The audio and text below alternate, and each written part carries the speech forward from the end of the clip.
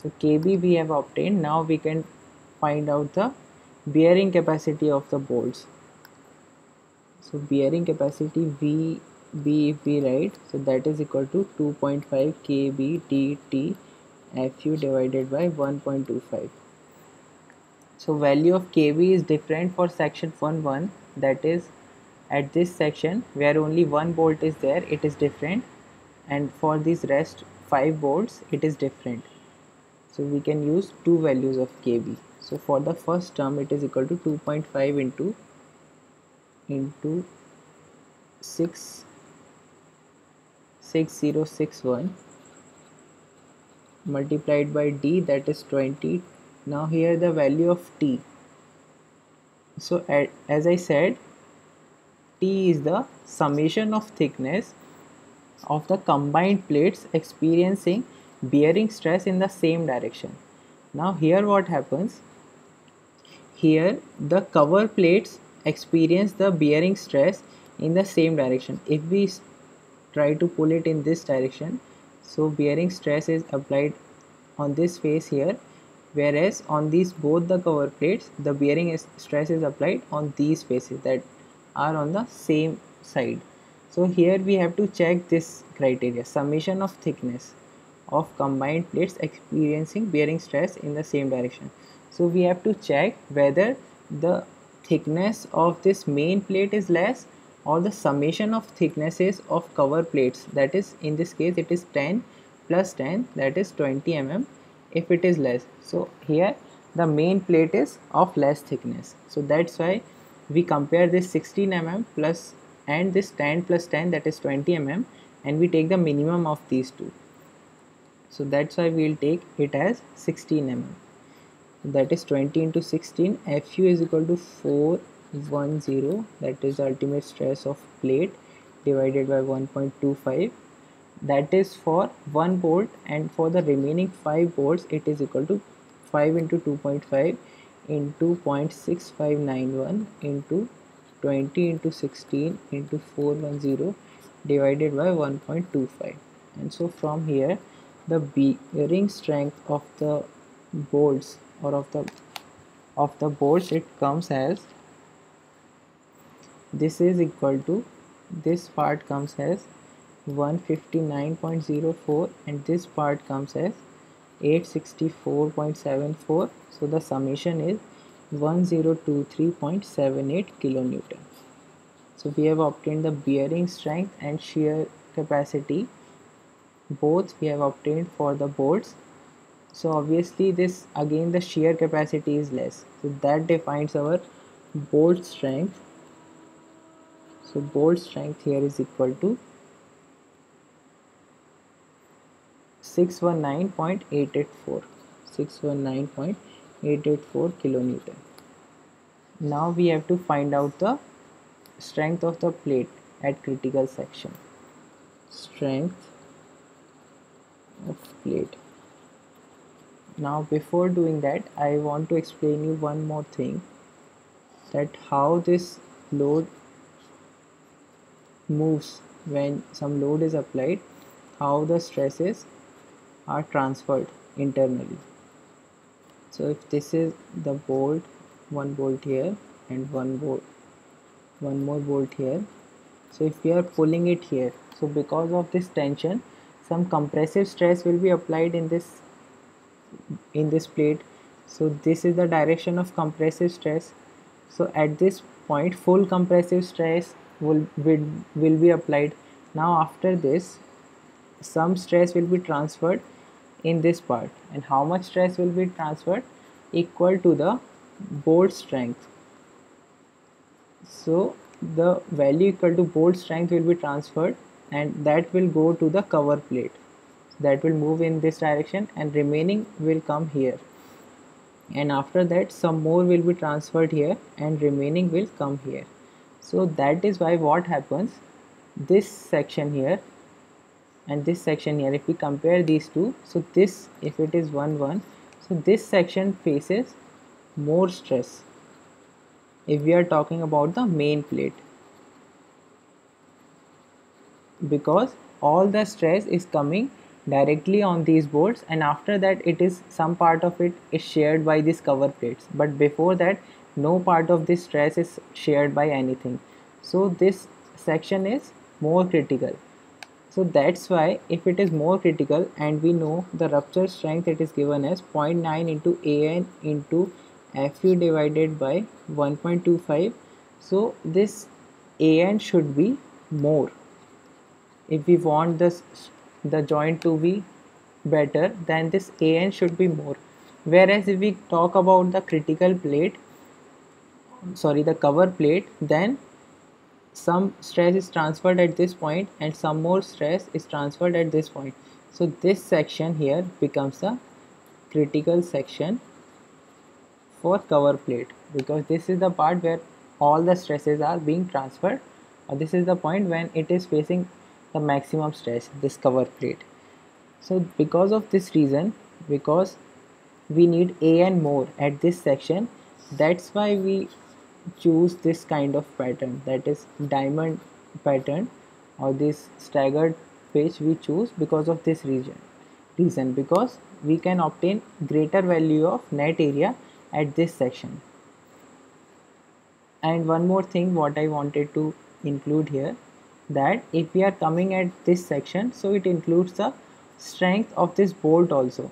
Because some part of this stress is being taken by this bolt which is which was at this section.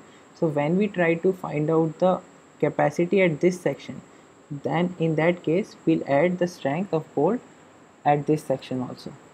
So that way we'll find out here our rupture strength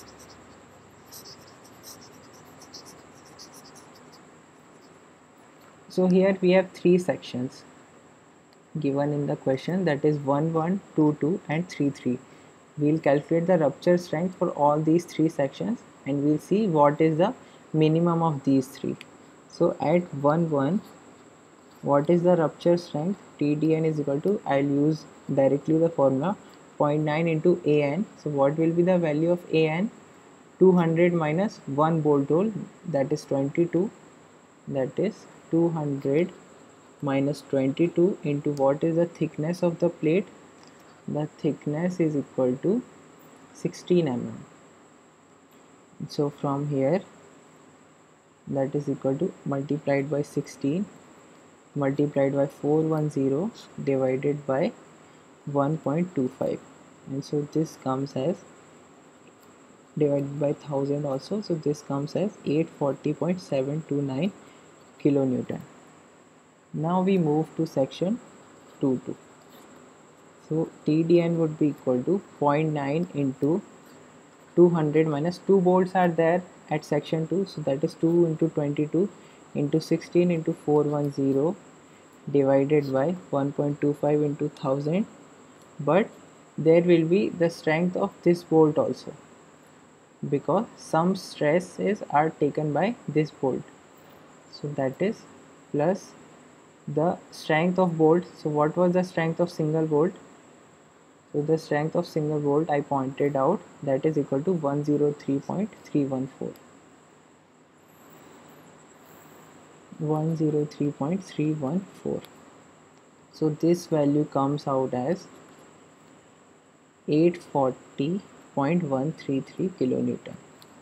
Similarly we can obtain the for third section also that is section 33 TDN is equal to 0.9 into 200 minus 3 into 22 into 16 into 410 divided by 1.25 into 1000 plus we'll now add the strength of 3 bolts that is 1 at section 11 and 2 at section 22 that is 3 into 103.314 and from here we get this TDN at this section is equal to 942.851 now what is the critical section? The critical section is the section where this rupture strength is minimum. So this section 2 to here is the critical section for which rupture strength is minimum. So that gives us the strength of the plate now what is the maximum force? The the original question was what is the maximum force that can be transferred? So the maximum force would be the minimum of bolt strength and and plate strength. So obviously the bolt strength was lower in shear. This value was equal to 619.884 so from here we get the the maximum load that can be transferred is equal to 619.884 kilonewton. So that is the factor load. And if we want to find out the working load that can be transferred so we'll divide this value by 1.5 that will give us the working load. So let's see one more question here so in this question why did I take this? Here we have connected two plates of different size. That is one plate is of 18 mm other one is of 10 mm so to connect these two here we have used one more plate and that is our packing plate. This is our packing plate. So the purpose of packing plate is not to transfer any load. It is just to maintain this or it is there to make this connection possible. So it is not being used in the in the process of transferring load. So let's try to find out the efficiency or yeah we can find out the efficiency or we can efficiency you can calculate. I'll just show you the shear strength and bearing strength. So first let's see the shearing strength so for shearing strength this is a butt joint. So that is equal to Vs if we denote it with FUB divided by root 3 into 1.25 so both one one shear plane we can assume at the shank and one at root. So that is equal to 1.78 times pi by 4 into d square. And that is that value is for one bolt and we have six bolts here. So multiplied by 6 d is again 20 we are using m20 and fe 415 and grade 4.6 bolt. And so from here we get the shear capacity as so whatever we get from here here we need one more correction also. This packing plate thickness is 8 mm and as I told you if this thickness is greater than 6 mm then we apply this correction packing plate correction and the value of this correction is given as 1 minus 0.0125 TPK and if you put the value of tpk as 8 so this beta is equal to 0.9 so here we need to multiply this value with 0.9 also because this correction is applied and so from here this shear strength is equal to 557.89 kilonewton. So that way you can calculate the shearing shearing strength or the shear strength. And for the bearing strength the bearing capacity so it is simply equal to VB is equal to 2.5 kb dtfu divided by 1.25 kb is the minimum of those usual things. That is first one is e upon 3d naught. That is 40 divided by 3 into 22 and that is equal to 0.6061 and other one would be 60 by 66 minus 0.25 so that comes out I think 6591 so obviously this is minimum. That gives us the value of kb D is 20 FU is 410 so what we should take the value of T here? Because if you see that bearing stress if we are pulling it here then bearing stress in this plate also should develop in the same direction. But the purpose of packing plate here is not to transfer any load. Not to transfer load. It is just there to make this connection possible so that's why when it comes to take the value of t here we'll just check the sum of thicknesses of cover plate and the minimum thickness of this connected main plates so sum of thickness of cover plate is 6 plus 6 that is equal to 12, 12 mm. And here this thick this plate is 18 mm thick and this plate is 10 mm thick. So that gives us the value of t which is equal to 10 mm so that's why I took this question. Here we need not consider the thickness of cover plate in the bearing capacity because it is not transferring any load. So VB here is equal to 2.5 into KB is 0.6061 into T is 20 into T is 10 into 410 divided by 1.25 and here we get the bearing capacity for one bolt and multiplied with 6 we get the bearing capacity of 6 bolts that is 99.4 into 6 which is equal to 596.4 kilonewton. So 596.4 is the bearing capacity and 557 is the shear capacity. So obviously shear capacity is the minimum and that gives us the bolt capacity you can similarly find out the rupture strength as we did in the earlier questions. Rupture strength and you can calculate the efficiency also. Now if someone asks you to design a connection so for the design purpose this load will be given. What is applied? This value of t will be given. And so you can choose some bolt that is m24.6 we can choose or whatever m16 also we can choose.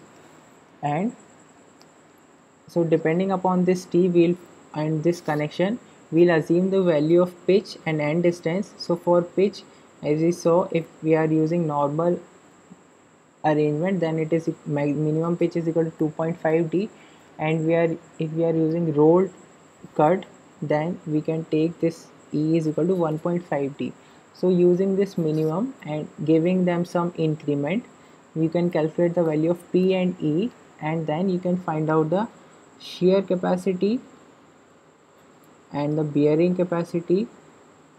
And minimum of the two will give us the bolt strength. And if you have decided the arrangement also then we can find out the critical section and rupture strength so the minimum strength we can find out and that will be our actual strength. And depending upon that strength we can calculate.